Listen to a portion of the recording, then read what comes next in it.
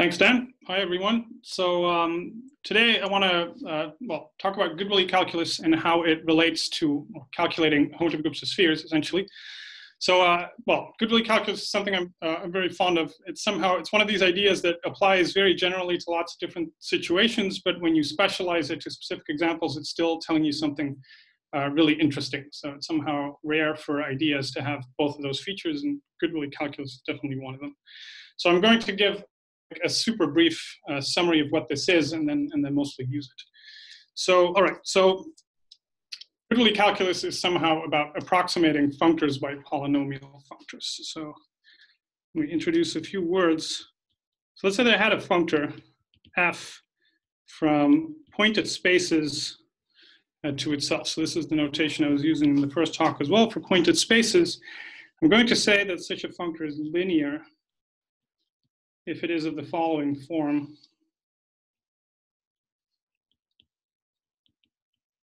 So if it is of the form f of a pointed space is um, loops infinity of some spectrum E smashed with X, smashed with the suspension spectrum of X, uh, like so, all right?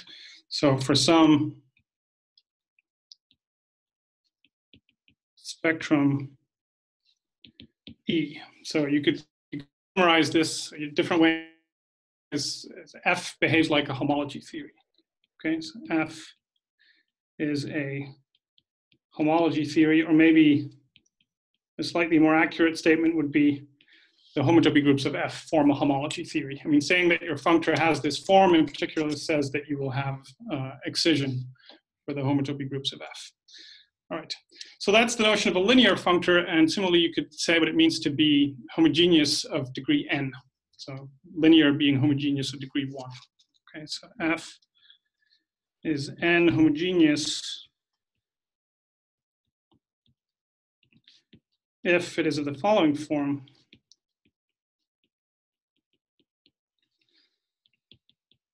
f of x is loops infinity of now, well, expression looks like this. I take x and I take it to the nth power. That certainly seems like a reasonable feature for n homogeneous functors.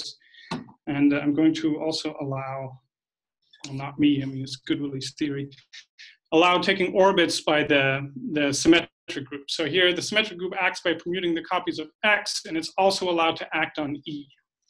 Right? So this is for a spectrum E with sigma n action. All right, and this is all in the naive sense. There's no real equivariant homotopy theory going on here. So if you're thinking infinity categorically, you could think of this as an element of the, the functor category from B sigma n to spectra, or you could think of it as a parameterized spectrum over B sigma n or something like that. Um, just sigma n action in the, in the naivest way. Uh, one way to say this, this thing is, you know, you should think of this as f. f being n homogeneous, you should think of as f behaving like a monomial of the following form, some constant times x to the n divided by n factorial. taking the covariance corresponds to this, to this division. So if you're thinking the analogy with calculus and Taylor series, then this is, this is the correct analog for n homogeneous. Um, okay, so with these two things in place, I can say what it means to be polynomial of degree n. You can just define this inductively. Okay, so f is polynomial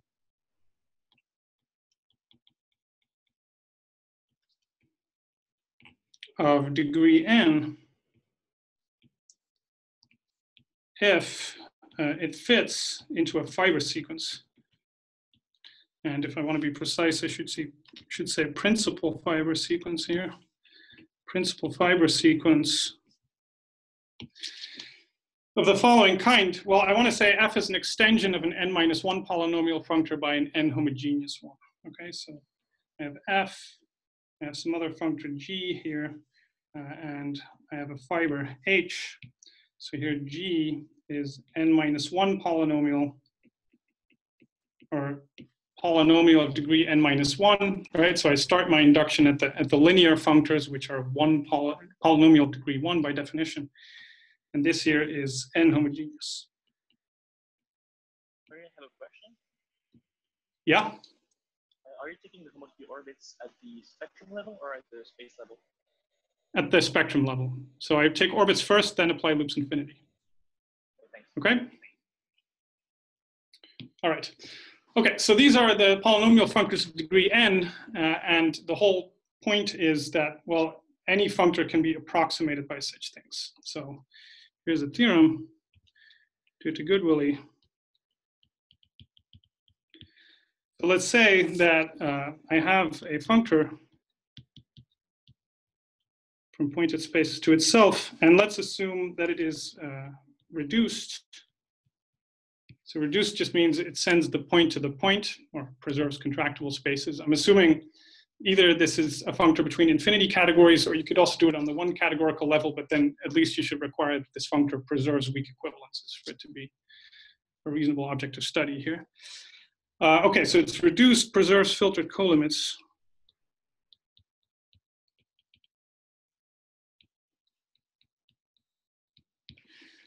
Um, well, under these assumptions, there is always a universal map to a polynomial functor of degree n.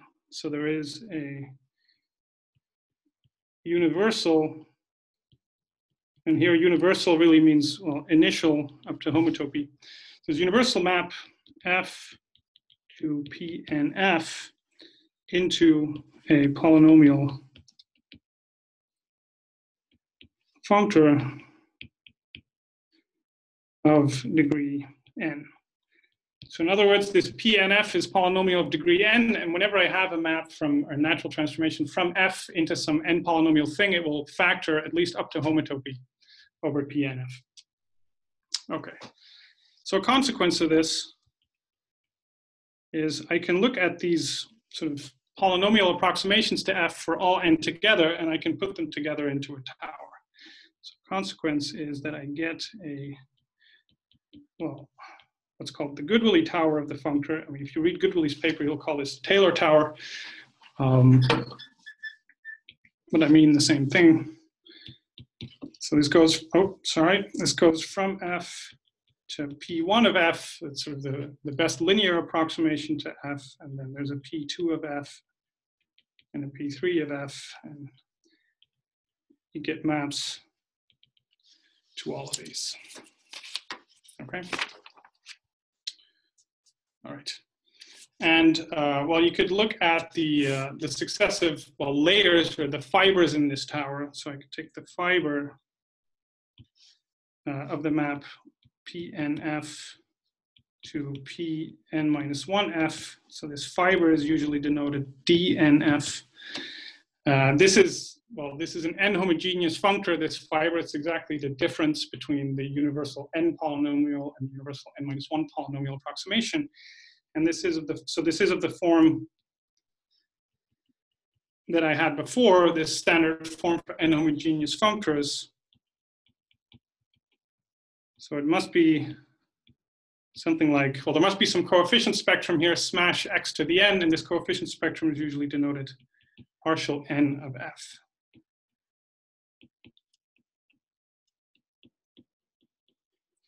Okay, and this partial n of f. So by definition, it's the coefficient spectrum that appears here, and it has a name, it's called the nth derivative of f. Um,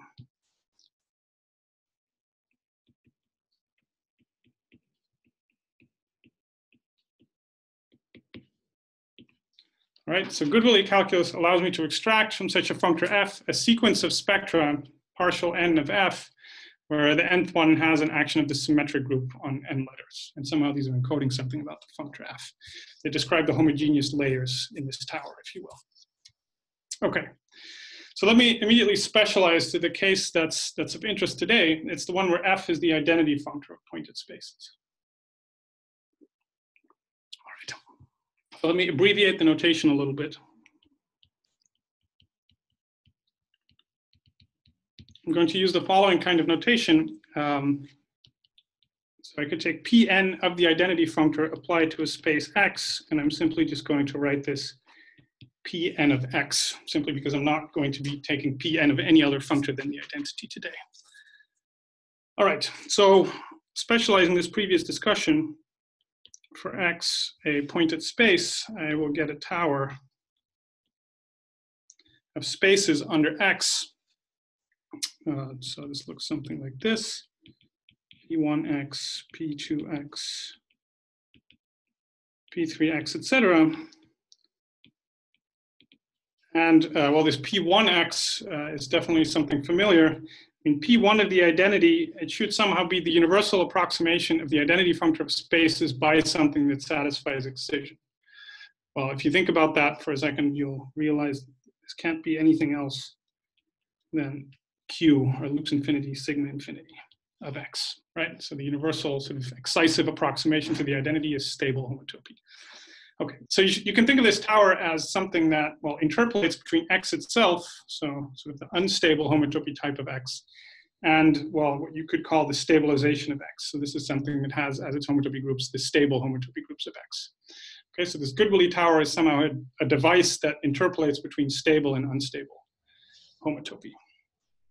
All right, so let me make a few remarks about this uh, tower. Um, First of all, uh, this tower has excellent convergence properties in the following sense. So this tower converges for nilpotent spaces. So by converging, I mean that the map from X into the limit, the homotopy limit of the Pn x's uh, is an equivalence. Okay, so in particular, uh, this applies to simply connected spaces, right? Those are those are nilpotent. Um, the second one is um, that well, not only does it converge, you can you can say something about the, the rate of convergence, if you will. So actually, the maps from x to pnx they usually become very highly connected. So let me say it like this: if x is k minus one connected,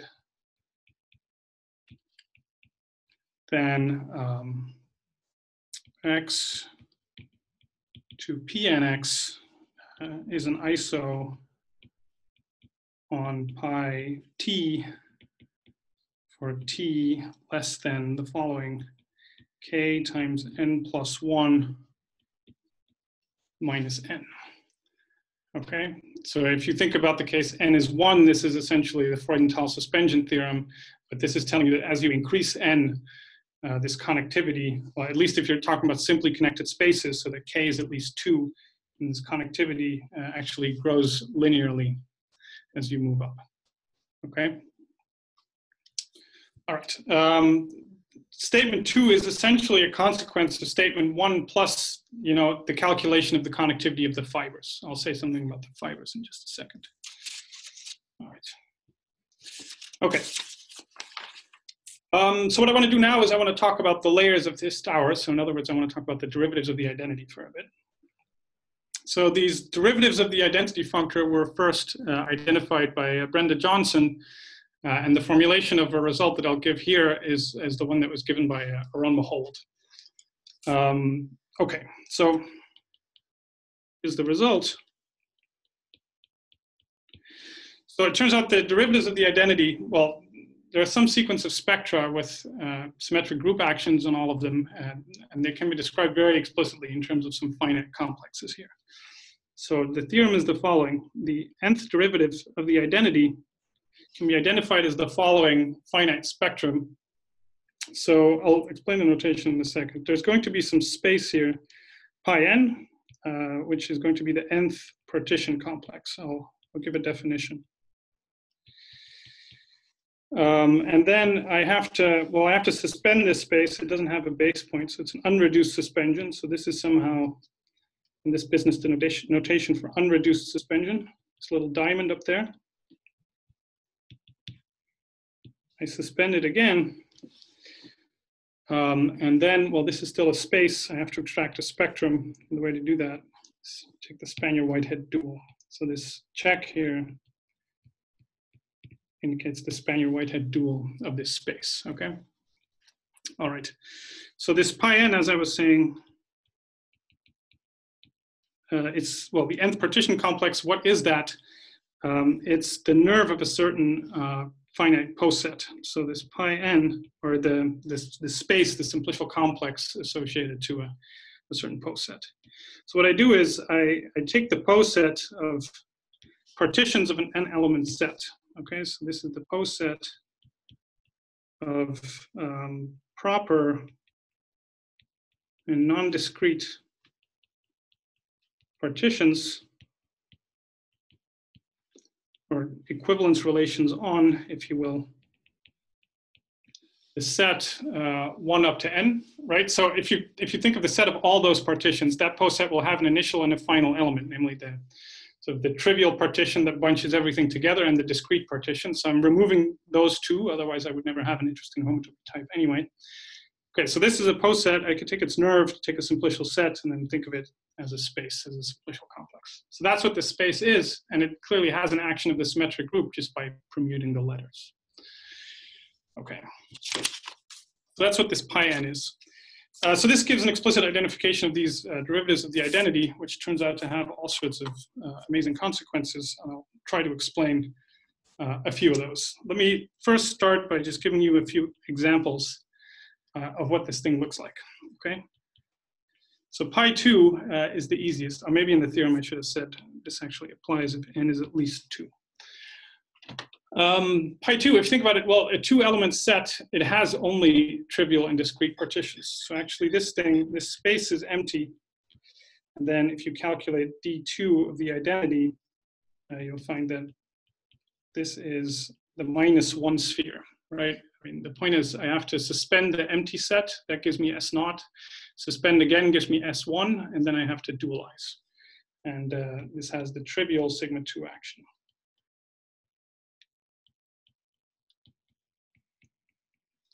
All right. Um, pi 3, if you think about it, actually looks like as a sigma 3 space, well, it's a discrete space and it looks like sigma 3 mod sigma 2. Okay, so it consists of three points and sigma 3s acting on them in this way. Uh, pi 4 is already a bit more interesting, so I made a picture of it. It's some uh, one-dimensional simplicial complex uh, that looks uh, more or less like this. Um, and well, you can figure out if you want that this actually is homotopy equivalent to a wedge of six circles uh, although that identification doesn't really respect the, the, the group action. Uh, generally, you could say the following. So the homotopy type of these spectra is not so difficult to describe if you forget the symmetric group action for a second. So these posets, uh, it's a bit like Tits buildings for general linear groups. They're always just, you know, wedges of spheres. So uh, this is a wedge of n minus one factorial copies of the sphere spectrum in dimension one minus n. I guess this is not very readable. Do that again. One minus n. Okay, but this is this identification that I wrote is not compatible. I mean, it's not an identification of sigma n spectra. I mean, sigma n doesn't obviously act on the right hand side. So this is really only it does work if you restrict to uh, subgroup sigma n minus 1. All right, so this is not the greatest way to think about these spectra because you really want to think of them as spectra with, with the group sigma n acting. Another remark is, um, well, the homology of these things you can identify pretty explicitly. So if you look at the homology of these spectra, then these are actually uh, sort of familiar uh, familiar modules? Well, first of all, it has to be some free abelian group concentrated in degree 1 minus n, uh, but you can really describe the group action. This is actually um, the nth term of the Lie operad, uh, thought of as an abelian group with uh, symmetric group action on it. Um, but there is, well, there's a, there's a twist of this sign. So this here is the nth term in the Lie operad, just thought of as an operad in abelian groups. And this here is the sign representation of sigma n. Right? So, um, I mean, just as an abelian group, this is just a free abelian group of rank n minus one factorial, but this decomposition is telling you actually what the, what the group action really is. Okay, so this shows that there, well, already shows there is some connection between these Goodwillie derivatives of the identity and Lie algebras, um, which I'll probably not say too much about today, but this will also feature next time. Okay, it's an important hint. Um, okay, so that gives a description of these the, the Goodwillie layers of the identity, or these uh, the homogeneous parts of this of this tower. Uh, what I want to do now is, is zoom in a bit on just the bottom part of the tower and see what you already get there. So the stable part plus the next thing, P2. Uh, in other words, I want to zoom in a bit on the, on the metastable homotopy groups. So P1 of X encodes exactly the stable homotopy groups of X. And then if you take the first two stages together, so you look at P2 of X, uh, the homotopy groups of that are usually referred to as the, the metastable homotopy groups. Um, so it's the first step after, after stable. All right, so let me describe the uh, Goodwillie tower in this range a bit more explicitly. So here's a fact, which is not too hard to prove, but I want to actually prove it. Um, so let's consider this fiber sequence that defines the bottom of the tower. So in the fiber sequence, uh, P2x going to P1x. Well, remember P1x was nothing else than Q of x. And as I said, well, the Goodwillie tower consists of principal fibrations. So I can, I can put the derivative on the other side, the cost of removing one of the loops. So here I can, I have to put the, the second derivative or the second homogeneous layer. And as I just said, the second derivative of the identity functor is actually the, the minus one sphere. So there's an S minus one here, smash uh, x squared h sigma 2. And sigma 2 is acting trivially on the minus 1 sphere, so actually I, I get a little bit of cancellation here. I can just write this in this form. Um, and now this map here, let me label it. This map admits a uh, familiar description. Okay, so the map star uh, can be identified uh, with, now there are various standard names for this map. Sometimes it's called the Snaith map. With the Snaith,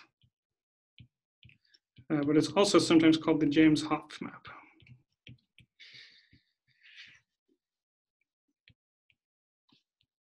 So let me describe it for you. This map is adjoint to the following thing. So the, the construction I'll describe is very similar to how, how I described the James Hopf maps last time, but they arose from a splitting of sigma loops sigma x.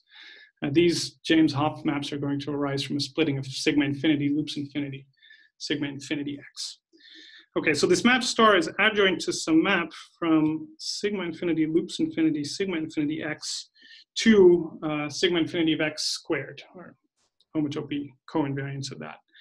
So the way to get this thing is, let me move this a little bit. So use the fact that this also has a splitting.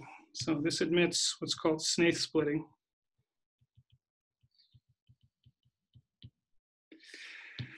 Um, you can decompose this as an infinite wedge of the extended powers of x.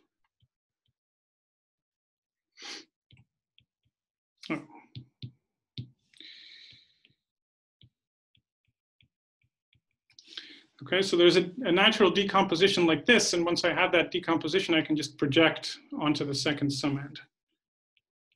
So I can just go to sigma infinity x squared h sigma 2. Okay, so again, it's the same principle as these other James Hopf maps, only using a different splitting.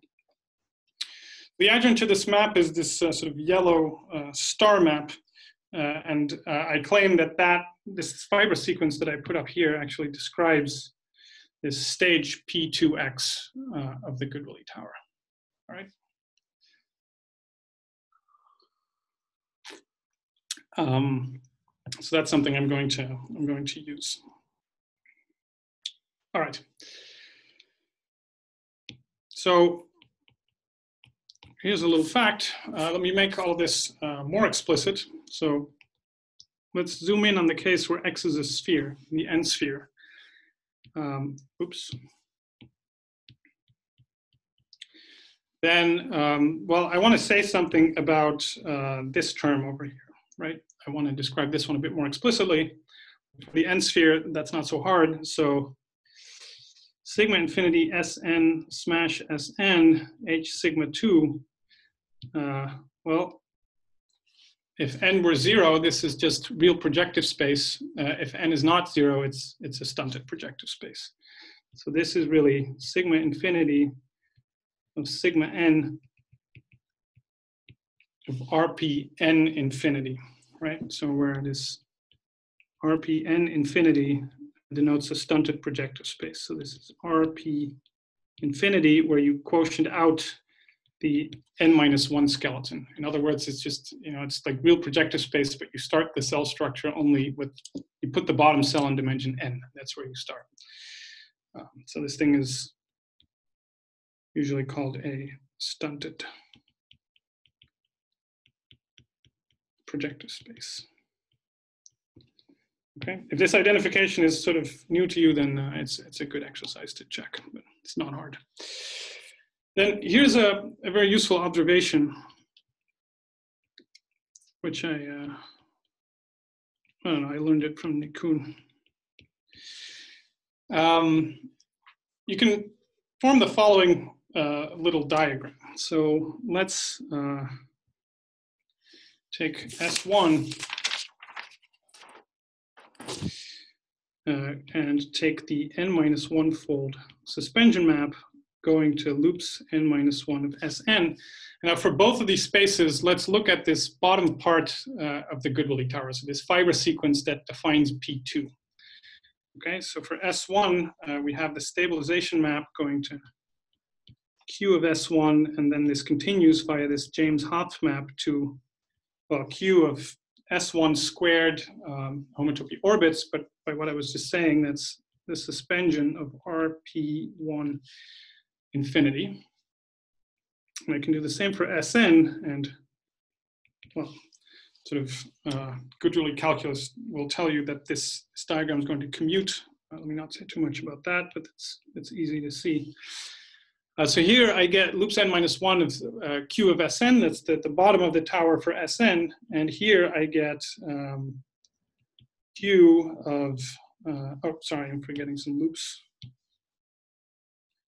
Loops n minus one, q, and then there's the nth suspension of this stunted projective space, like so. So this is a little commutative diagram. This is also the James Hopf map for Sn. And I'm going to take fibers in the horizontal direction.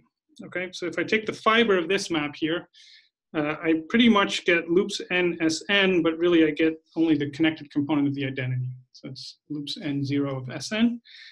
Uh, this map, uh, this guy over here, uh, this is actually just an equivalence, right? Um, so take the fiber here, just going to get the point. And then if I take the fiber here, well, this thing here I could just identify with q sigma. I can just cancel some of the loops with some of the sigma here. It's this. Uh, and well, you have to figure out what the horizontal map is, but I claim it's just the obvious, uh, well, the evident map between these spaces, the, uh, the quotient map.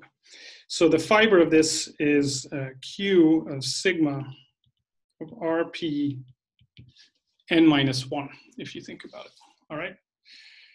So that's what you get by taking horizontal fibers. So now here we have this little sequence of maps. Uh, well, I can reinterpret this as giving me a map from here into the loop space of this guy down here. So in other words, I get a map from here into Q, R, P, n minus one. And this map is also often called uh, the Snaith map.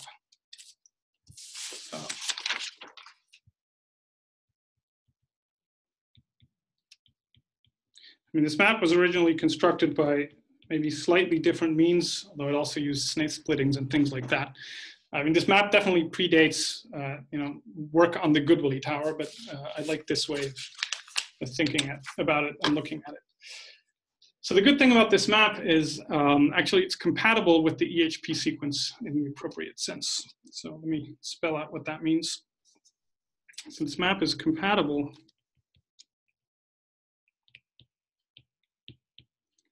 with EHP. This is also uh, something that's originally due to Kuhn. Um, and what it's telling you is that you get a diagram of the following form. So I have loops n of Sn, or maybe this connected component of it. You can look at the suspension map uh, going into here, and then here I could put the Hopf map. Again, I'm, yeah, okay. Working two locally, but um, it doesn't really matter at this stage. And then I have these Snaith maps, okay? So here I have the Snaith map going to Q of RP n minus one. Here I have the Snaith map going to Q of RPN. And again, uh, well, it's sort of evident how to complete this fiber sequence to the right. I mean, here I should put QSN, right? So really the, the bottom row is just loops infinity applied to the co-fiber sequence RPN minus one, or rather its stable version, sigma infinity of RPN minus one, sigma infinity RPN to SN, which is just the top cell of RPN. Really, so this bottom map here is just, just the inclusion of the N minus one skeleton of that, of that spectrum. And the claim is that this here, uh, that this here commutes. So a different way of saying the same thing is it's, uh, that this Snaith map, um, so the Snaith map sends uh, this filtration of QS naught by, by suspensions. So it sends the E filtration of QS naught to the skeletal filtration of RP infinity.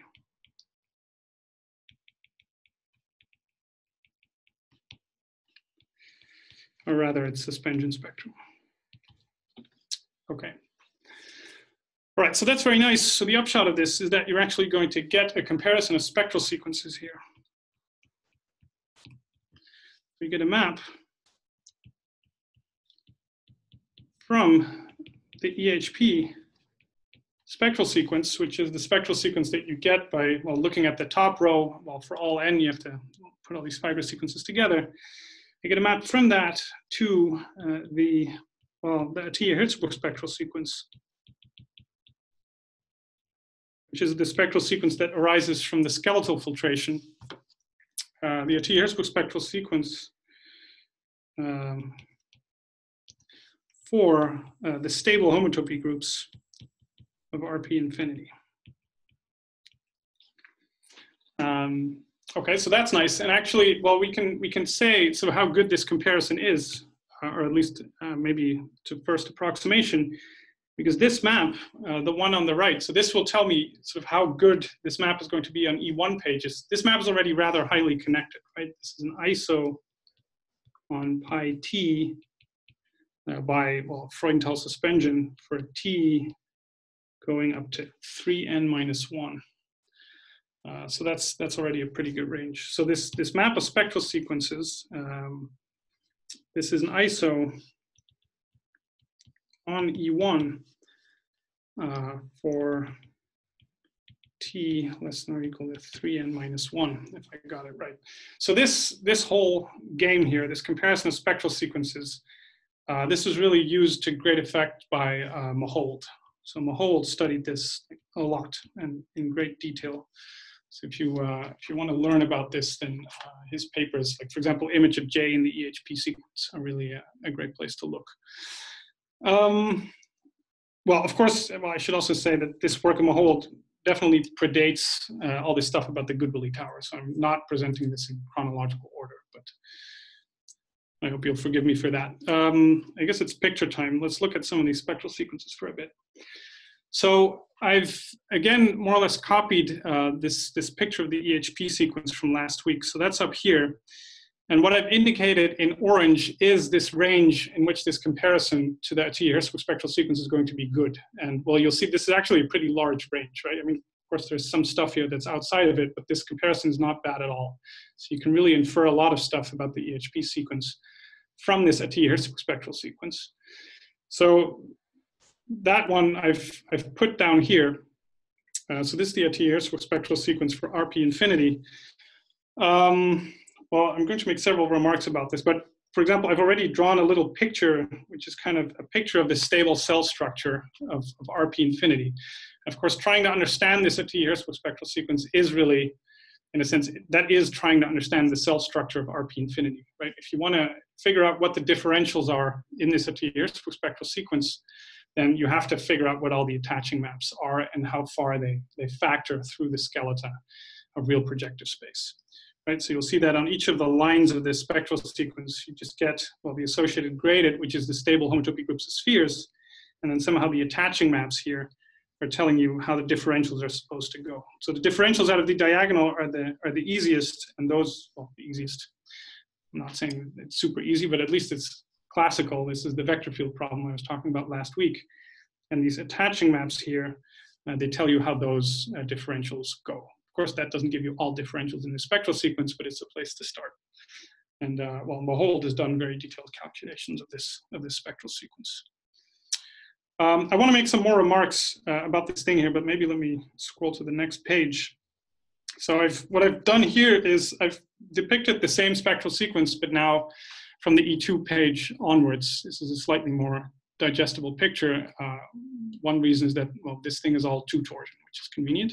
So every dot here just uh, represents an F2, and I've sort of gotten rid of all the all the D1 differentials here. Otherwise, it's, it's mostly the same picture. Um, so let me make a couple of remarks uh, about this uh, spectral sequence and the comparison with EHP. So the first remark is, uh, well, as you can see, um, this Atiyah-Hirzebruch spectral sequence here already has all of these vector field differentials that we talked about last week. So those were the differentials out of the diagonal of the EHP sequence. And those are really all in this stable range, as you can just check by doing the numbers. So all the vector field differentials.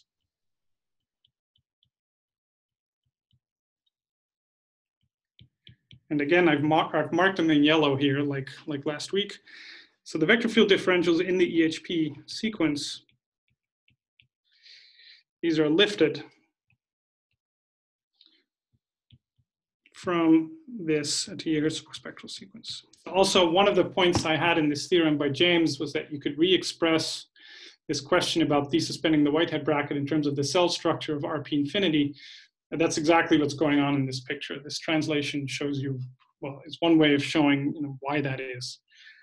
Um, so, okay, so these yellow differentials out of the diagonal are the, are the vector field ones uh, that you can also describe in terms of the J homomorphism. Uh, the second remark, well, I guess I already made this one in, in words. So, so figuring out general differentials here in the spectral sequence Uh, corresponds to, well, understanding the stable attaching maps.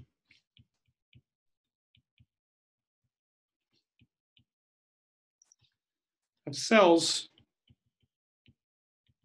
in RP infinity. I mean, that's just the nature of Atiyah-Hirzebruch spectral sequences. So again, I've, I mean, I have this diagram here on the right. So these, this picture is really saying something like, you know, that the two cell is attached to the one cell by a map of degree two. Here, the four cell is attached to the two cell by uh, along eta. And here there are also these longer, oh, yikes, that's not what I wanted. There are also these longer extensions here that tell you that a certain attaching map actually factors through a much, much lower skeleton. And then once you cone off to the top cell of that skeleton, that attaching map looks like eta sigma. So this long attaching map, eta sigma over here, is exactly the one that's responsible for this, this very long differential over here. Okay, and uh, et cetera, et cetera. Okay. Um, another thing uh, to note about this spectral sequence is that, well, it's still somewhat chaotic, but you start to see some patterns, right? There's definitely periodicity going on in the spectral sequence. So for example, there's this little cluster that we also looked at last week already. This cluster of four differentials, which keeps repeating as you go down the spectral sequence. But also if you, if you zoom in a little bit, you'll see that this sort of more chaotic looking bit actually gets repeated more or less over here. Uh, so there are things like that going on. So I want to, well, quickly say something about that periodicity. Uh, so this, called, this comes from something which in a sense is, well, geometric, and uh, it's called James periodicity. So again, uh, James popping up. Um, so let me try to explain where this periodicity comes from. Um, so this goes in several steps. The first step is, uh, like with the EHP spectral sequence, you can truncate this Atiyah-Hirzebruch spectral sequence. Right? So truncating, uh, let's say from the M line to the N line, so I just get rid of everything outside of that zone between M and N. That also gives me a spectral sequence, but it will compute the homotopy of a smaller stunted projective space. So this gives exactly the Atiyah-Hirzebruch spectral sequence for the stable homotopy groups of RPMN, right? I just keep the cells in that range, I chuck away everything else, and that's what I get. Now the point is, is that these little stunted projective spaces, they enjoy uh, a certain kind of periodicity. So the point is, that uh, a stunted projective space like this um, actually arises as a Thom space. So this is, um, it's a Thom space over, sorry, the projective space uh, n minus m for m times the canonical bundle, okay? So this notation here indicates the Thom space for m times L, where L is the, the tautological line bundle over projective space. Uh, and the point is that this uh, m times L for m chosen appropriately actually becomes a stably trivial bundle, which means that this Thom space is just a suspension. Uh, so to say this more precisely, L minus one, so this is a virtual vector bundle. This has finite order in uh, KO0 of this group. And actually, not only does it have finite order, you can, you can say what the order is. Uh, this is exactly known. It's essentially given by the Radon-Hurwitz numbers again. I mean, let me not actually spell out the precise numerology, but let me just give you uh, some examples. So this this outline that I'm giving here is exactly how uh, Mahowald explains James periodicity, and I think what is the shortest published paper I've ever seen. It's like half a page or something like that. Um, but okay, so the, the point of this is that for appropriate M, namely the order of L minus one, uh, this M times L is a stably trivial bundle. And that will tell you that this, this Thom space over here, you know, stably it's just a suspension of that other projective space. So that's where this James periodicity is going to come from. Uh, and as I said, let me just list some examples rather than do the numbers precisely. So the most basic examples are, oh, pen. If you, uh, if you look at a little stunted projective space that just goes n minus one to n, so this is just two consecutive cells together. Well, are either attached or not, depending on the parity of n.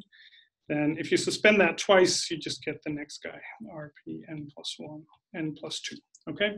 So whenever you take two consecutive lines in your Hirzebruch spectral sequence and you shift that down by 2, you're supposed to see the same picture. So this allows you to propagate D1 differentials, which is maybe a bit boring. But nonetheless, so this allows you to propagate D1s throughout the spectral sequence, um, well, that's not very interesting, but the, the higher periodicities are better. So for example, if you look at stunted projective space of the form n, n minus 3, so this is already a little complex with four cells in consecutive dimensions. And this uh, is periodic with period 4 so if you suspend it four times, you again get a stunted projective space uh, with the course. So this allows you to already sort of propagate some D2s and some D3s throughout the picture. So that's exactly what was going on in this picture over here. Like for example, these differentials are D2s. And what I was just writing is telling me that these D2s are four periodic. So this, you know, get I get this propagation of this little cluster throughout the spectral sequence from this observation. And the next one would be, you know, sigma 8 RPN n minus 7. So this is already eight consecutive lines. Uh, I can I can also I get periodicity for this. And then, uh, etc. As I said, to work out the numbers, you need to look at the, the Radon-Hurwitz numbers for a bit. Uh, maybe one remark, which I'll just make in words. It is actually possible to, you know, extend uh, James periodicity also up in that direction. So you can extend the spectral sequence indefinitely also in the vertical direction by looking at uh, RP minus infinity infinity. And that's actually a, that's a fun spectral sequence to study, and it's rather bizarre because uh, actually this looks like a huge thing, but by the Segal conjecture, RP infinity minus infinity is, is just the desuspended sphere spectrum to complete it. So there's tons of sort of ridiculous cancellation going on there, which is not today's story. So let me not go into that. Uh, I'll say a bit more about you know this comparison to RP uh, RPM, these stunted projective spaces on, on Thursday as well. Okay, um, but now let me get back to the Goodwillie Tower actually. So this, um, what I was just discussing is essentially the interaction between the EHP sequence and just the very bottom part, the metastable part of the Goodwillie Tower, just P2. Uh, but of course, the, the natural question, if you have the Goodwillie Tower lying around, is how does EHP interact with the entire tower? Like, can you do more? So now we only had this approximation to the EHP sequence in the stable range, but you could hope to do uh, much better in principle by taking into account more and more of the Goodwillie tower. So that is essentially what uh, what Behrens did. So there's a there's a very nice paper by Behrens, which uh, I think it's called the Goodwillie tower and the EHP sequence. It definitely has Goodwillie and EHP in the title, and it does exactly what I just advertised. So let me try to explain a little bit um, in these last well, roughly 10 minutes of, of how that works. And this will necessarily be quite sketchy, but I'll refer you to his paper to, to learn more. But you should really think of it as the continuation of this Mahowald program to the rest of the, the rest of the Goodwillie Tower. At least um, that's one way to think of it. Um, so I put some notation here. I'm going to write boldface dnx for this spectrum here, uh, of which the usual dn is just the, the zeroth space. So with this notation, uh, I can state the following. So this proposition is essentially going to summarize the interaction of EHP in the Goodwillie tower. And this is sort of given the basics of Goodwillie calculus, proving this proposition is rather formal. Like you shouldn't think of this as being uh, particularly hard, but you should think of it as being particularly useful. Uh, so this is sort of the basic starting point for all of Behrens's calculation in that paper. Uh, it says that the EHP sequence refines to towers or to a tower, well, towers of fibration sequences. Um,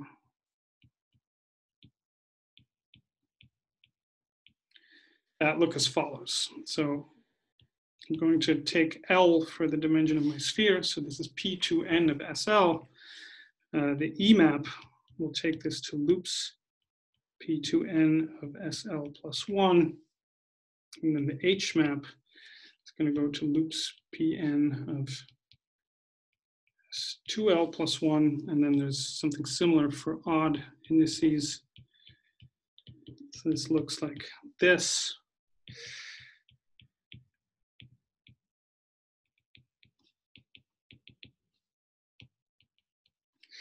All right, so there are towers of fiber sequences like this. So one way to sort of summarize this informally is by saying that the Hopf invariant will have uh, the Goodwillie filtration, right? So the Hopf, the Hopf map, or the Hopf, I should say the Hopf invariant, has Goodwillie filtration. I mean, you go essentially from 2n to n. That's telling you, I mean, the E, the E map works very well with the Goodwillie tower. It doesn't really change anything. And then the Hopf map will sort of jump. Um, so you can also immediately deduce uh, what this means for the derivatives in the tower. So for the derivatives, you get uh, in degrees 2n, you get fiber sequences that look like this.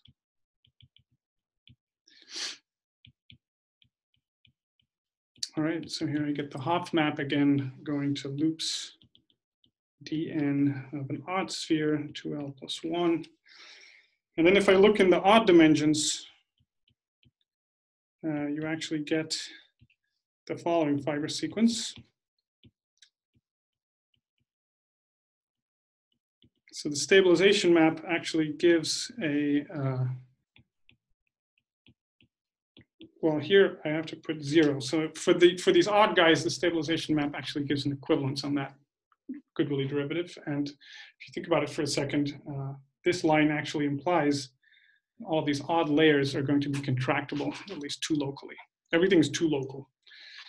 All right.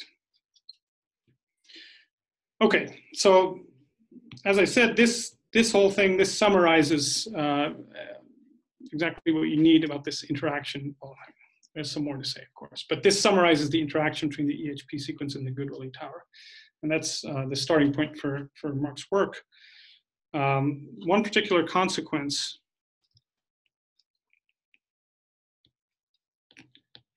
Of uh, what I just wrote is that, as I was saying, these layers uh, are contractible. Two locally. Uh, if, well, not only if n is odd, but if n is not a power of 2.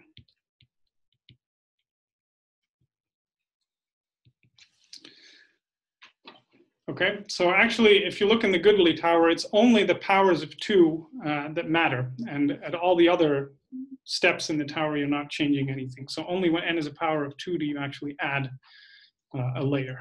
There's a corresponding statement here for odd primes. If you're doing, uh, if you're doing odd primary uh, Goodwillie tower, then uh, again, uh, you're only going to see the powers of P. Those are the only non-trivial Goodwillie layers in uh, the Goodwillie tower for a sphere if the dimension of the sphere is odd. If the sphere is even, then you'll see stuff in dimensions powers of P and twice powers of P. Okay, so it's slightly simpler if you just focus on odd spheres, which at odd primes you could do anyway because even spheres just split as products of odd spheres. So, you know. Okay, so this power of P thing is, is, is not specific to the prime two, clearly. Um, okay, so the interesting layers are the, are the powers of two. Now let me state some facts about these layers. So a lot is known about these layers, uh, and I, I, guess I'll return to this on Thursday as well, but for now, uh, let me just state uh, some general facts. The first one is uh, the homology of these layers is completely known. So homology of the layer 2 the KSL with coefficients in F2 with Steenrod operations and everything, this was computed by Arone Mahowald.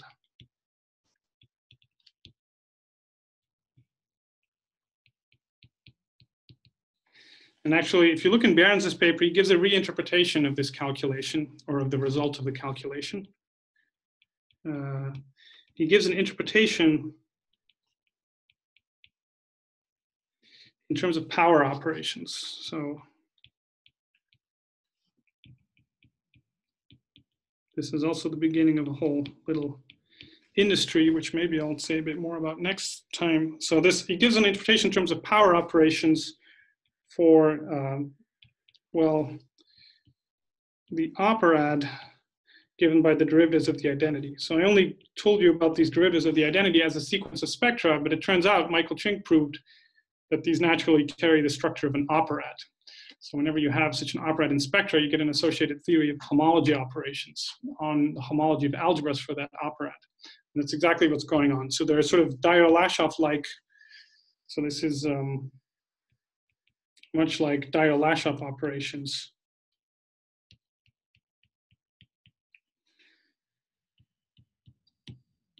in the homology of E infinity ring spectra. You think of it as analogous to that. Okay, so this operad, I should mention, this has a name. This is actually what's usually called the spectral Lie operad. As I said, I'll, I'll return to this. But it's, it's really a stable homotopy theory incarnation of the Lie operad. Um, now, if you really want to learn something about these Goodwillie layers of the identity, then uh, the place to go, other than Arone Mahowald, is this paper by Arone Dwyer, uh, it's another really wonderful paper. Uh, they show lots of things in this paper. Um, they give, they make several very important connections. But one thing they do is they show that after uh, two localization, uh, let's say L is odd,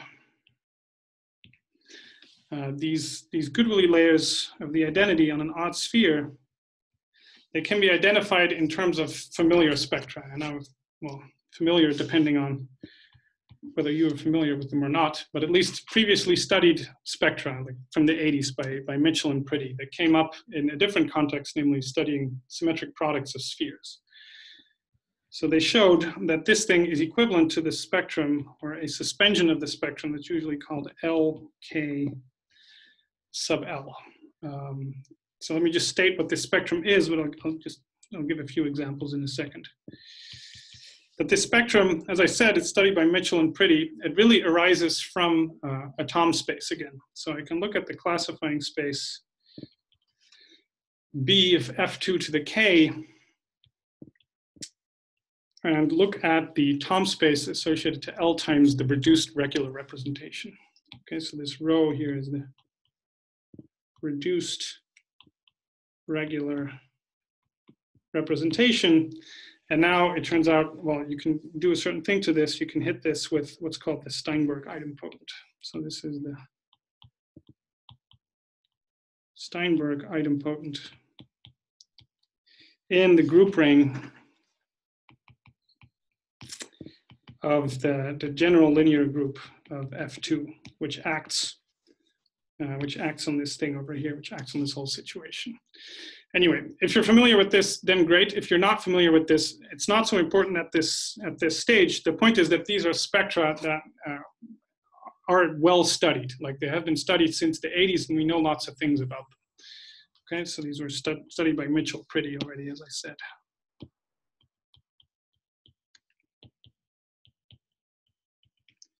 These are very, this is a very interesting family of spectra, and it's very interesting to see that they come up naturally uh, out of the Goodwillie tower. All right, so let me just uh, iterate um, the basic examples of these LKs. These L0 is the easiest for any little L. This is just the sphere spectrum.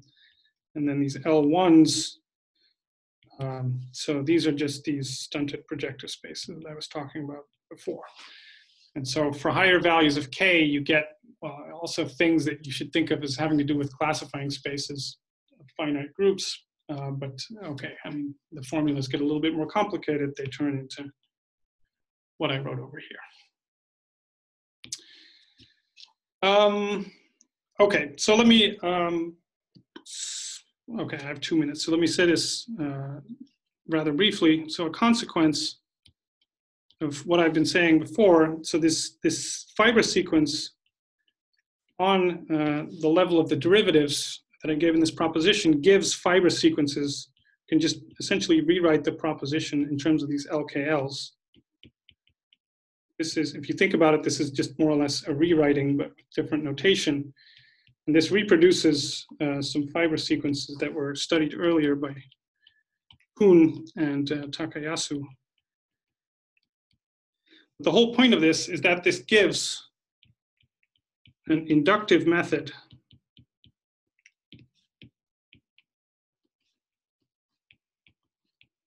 of understanding these LKs. Right? According to this fiber sequence like this, like these LKs, they are they admit filtrations where the associated graded are LK minus ones. So you can sort of inductively try to work your way up and start understanding these various Goodwillie layers. And that's, a, that's exactly the basis for uh, program. So this program, essentially, this calculation, this paper consists of three steps. So the first is, the first step is to understand uh, all these LKNs. So essentially, you start with this Atiyah-Hirzebruch spectral sequence that we already had, going from the stable homotopy groups of spheres to the stable homotopy groups of these L1s. So this is just the Atiyah-Hirzebruch spectral sequence for RP infinity that we already discussed. Um, but you can continue using these co-fiber sequences I had on the previous page. There are spectral sequences going from the homotopy of these guys to the homotopy of the L2s. Okay, etc. So there's really a sequence of spectral sequences here that ends up computing the homotopy groups of LK, L, right? There's essentially N of them, uh, K of them, I guess. So once you understand these guys, the next thing you want to do is you want to understand the Goodwillie spectral sequence.